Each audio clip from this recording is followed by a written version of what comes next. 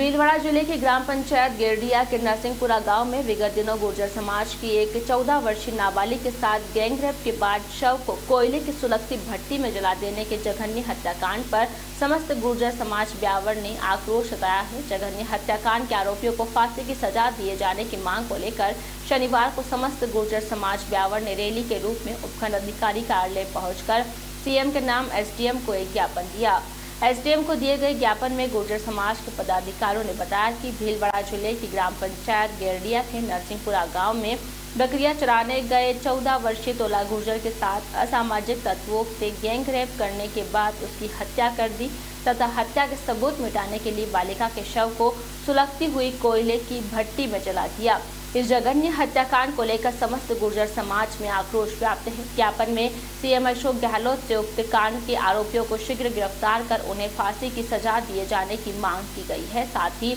उक्त मांग को पूरा नहीं करने की सूरत में प्रदेश भर में गुर्जर समाज की ओर से उग्र आंदोलन की चेतावनी दी है। ज्ञापन देने वालों में गुर्जर समाज के पूर्व सरपंच कानाराम गुर्जर, देवसेना के प्रदेश महामंत्री रतन गुर्जर, गोविंद गुर्जर, यशोदा गुर्जर, मुकेश बजाज भगवान गुर्जर, देवकरण राज, देवाराम तेवड़ा भागचंद्र गुर्जर, राजेश गुर्जर, राजू गुर्जर, लक्ष्मण प्रकाश, जितेंद्र रावत, सेना के महेंद्र सिंह रावत सहित सैकड़ों कार्यकर्ता शामिल थे।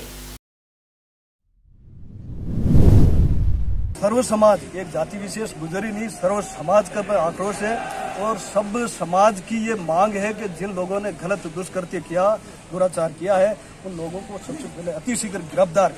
गिरफ़्तार करने के बाद में इस तरह की अदालत का गठन करे, जो अतिशीघ्र निर्णय करे और निर्णय ऐसा होना चाहिए, जो वापस कोई दूसरा बंदा ऐसी दुराचार जैसी और दुर्गति जैसी हरकतें करे और हत्यारों को और दुराचार करने वालों को और उसमें सहयोग करने वालों को सबको फांसी हो, अति शीघ्र। चाहिए समाज में संदेश दावे सर्व समाज में संदेश दावे